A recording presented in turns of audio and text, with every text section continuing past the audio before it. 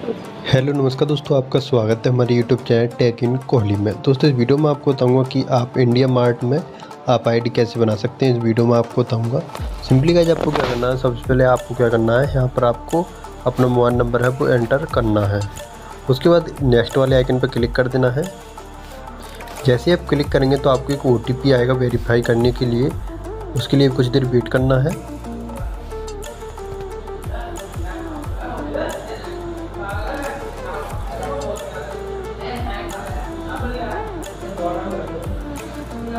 उसके बाद गैज आपको क्या करना है? नेक्स्ट वाले आइकन पर क्लिक कर देना है। उसके बाद आपको क्या करना है? आपको अपना नेम